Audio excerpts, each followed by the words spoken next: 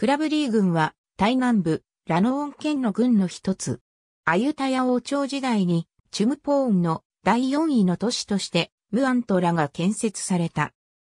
初代領主は、ナコーンシータンマラート領主のいとこであるナーイケオ。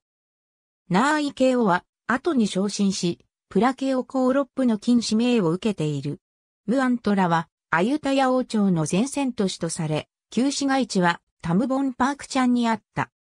1884年、プラースサドンコットティットラクサーオが、交易、戦略的目的からタムボンナーム中と二島を移した。ムアントラはビルマとの大きな戦争を二度経験しており、一度目は1764年、エーカタット王の戦い、二度目は1786年のラッタナ公人王朝のラーマ一世の戦いである。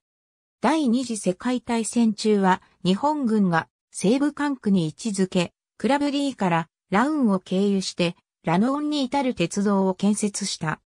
1896年クラブリーはラノーン県の一軍として編入された。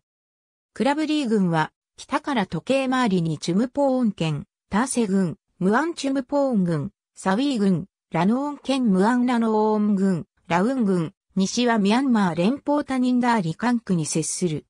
クラブリー側は重要な水源であり、流域の湿地帯はラムサール条約によって保全されている。クラブリー軍は7のタムボンに分かれ、さらにその階に60の村がある。軍内には一つのテーサバーン、テーサバーンタムボンナーム中途があり、タムボンナーム中途の一部を管理している。